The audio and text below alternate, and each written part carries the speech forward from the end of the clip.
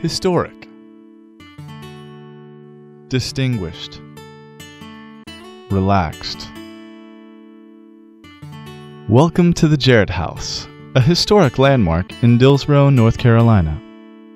The Jarrett House is your mountain home away from home, where you can enjoy the historic building that dates back to 1884. The lodgings have housed many distinguished guests. However, we pride ourselves on serving generation after generation of families simply trying to escape the hustle and bustle of everyday life. The Jarrett House was made popular in the early century for home cooked meals, and it still draws appetites from far and wide to indulge in a relaxed family style dinner, including favorites such as fried ham, red eye gravy, chicken and dumplings, fried chicken, and of course, buttermilk biscuits.